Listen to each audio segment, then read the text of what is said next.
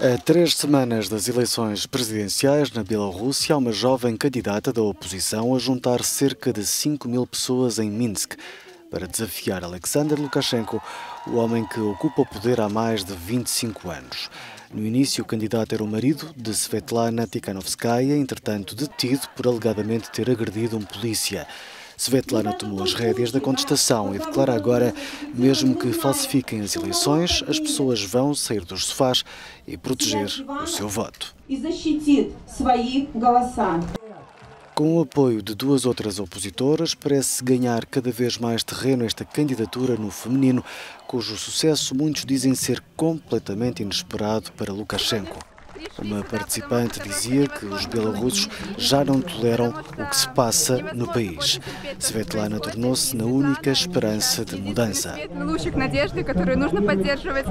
As pessoas acreditam nela.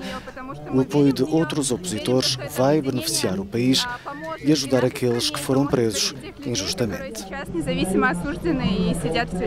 Foram milhares a fazer fila para apresentar queixas junto da Comissão Eleitoral após a detenção de Victor Babarico, apontado como o principal adversário no escrutínio de 9 de agosto. Babarico foi acusado de evasão fiscal e lavagem de dinheiro.